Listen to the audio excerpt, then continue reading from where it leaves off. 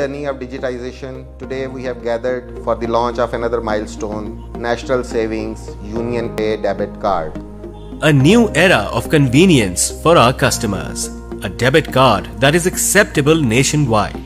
Now customers can access their monthly profit from any ATM throughout the country.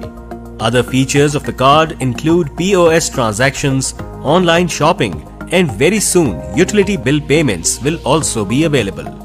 हमारा यहाँ से 10 साल से सेविंग्स अकाउंट है, जिस पे प्रॉफिट भी हमें मिलता है और हमारे घर को सपोर्ट करता है। अब हमें पता चला है कि यहाँ डेबिट कार्ड भी निकल आया है, जिससे बहुत सहूलत हो जाएगी हमारी। वैसे मुझे टाइम काम से लेना पड़ता है मम्मी को लाने के लिए तो अब डेबिट कार्ड की सहूलत से मम्मी जब भी चाहे पैसे विदड्रॉ कर सकती हैं।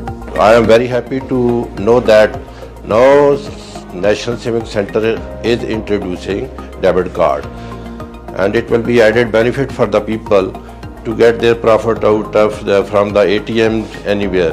It will facilitate the old people जिनके बिहाफ पे हम लोग यहाँ आते हैं तो हम क्यूज़ में लगने से बच जाएँगे और हम किसी भी बैंक से उनके पैसे विड्रॉ करवा सकेंगे मुझे बड़ी खुशी हुई इस बात की कि आइंदा हम कहीं से भी जाके बैंक में किसी बैंक में भी जाके अपना कार्ड डालेंगे बल्कि ये डेबिट कार्ड भी होगा और हम जहाँ भी जाएँगे कोई खरीदो फरोख्त भी होगी हम वो भी कर सकते हैं The most efficient and effective way to ensure convenience of customers is through digitization.